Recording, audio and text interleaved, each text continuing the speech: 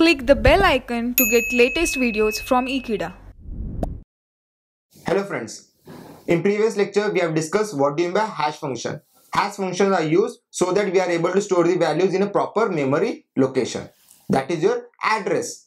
Now we will discuss how to calculate this address using hashing function.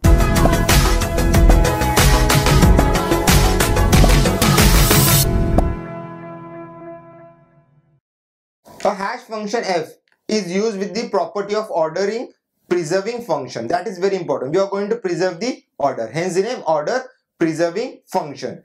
Now the function value is like this. Let us go with the function value. We have the hash function named as f of x whose value will be floor of x divided by maximum. So in this case we are going to get the quotient. So remember we are going to have the floor function with the value of x divided by the maximum multiplied by the size of the value. This is how you calculate the address. Let us go one by one. What do you mean by each term? Let us begin with the first term called as max. That is where maximum. Here the maximum is what? Maximum value in the array. That is the highest set of value. Let's say we have 20. This is the maximum value in the given array. So your maximum value is what? 20 now. Next set of term size. The size of the address table. How big your address table is going to be. That size needs to be defined in the variable called as size. In our case, we are going to consider the value as 10. Then we move to the function called as floor function. Floor. Floor function is to give me the lowest value in the given set of value. That is what do you mean by value of a floor function. Let's say I have a value called as 3.7. Now I can either consider it as 4 or I can consider it as 3. I am going to use the floor function. So in that case, it is going to give me the value as 3. This is the importance of the floor function. If I could have used ceiling function, then it could have been the value as 4. So floor function is to give me the lowest integer value of the given number. So if it is 3.3, 3.2, 3.4, so value would be 3 only consider. Let us go with the example of the address calculation. I have taken an array with this set of values. Let us discuss with the insertion of this value. After inserting all the values in the address table, okay, so I have considered the function which we have discussed previously only. That function is taken up and we have put up the value. Now we will look at how the value is going to be stored one by one.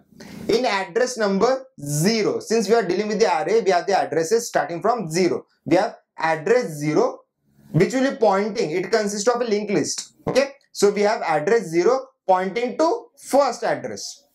That is the first number. And it will point to the third number. Like this they are going to be stored. So if i want to access third first i need to access the zero address. Then i can access the first value. Then i can access the third value this is how you're going to store the value in address number one i have direct access to value of 5 but since i've used the hash function due to which there are no values stored at the address number 2. So address number 2 is null.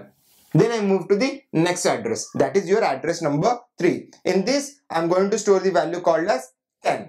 Then I move to address number 4 in which I am going to have the value as 14 and which is going to point me to 15. Then at address number 5 I have the value 18.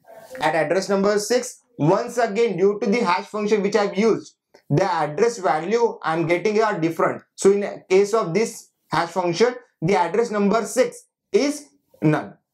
Then I move to address number 7 in which I have the value stored as 23. Then I move to address number 8, again the null value. Then I move to address number 9 which is going to give me the value called as 29. Since I have considered the size of the address table as 10, I want to start from 0 till 9 that is the size of the address table. Larger the size of the address table there are more chances that your addresses will be null also. That is very important. You have the perfect size of the address table so that there are lesser number of collisions. This is the common hashing function used for any set of values. As you move further in the future lectures we will discuss various hashing techniques so that the values are stored in different location and we can easily retrieve the value. This is how you calculate the address by using hashing function. Thanks for watching this video. Please subscribe to Ekeeda channel.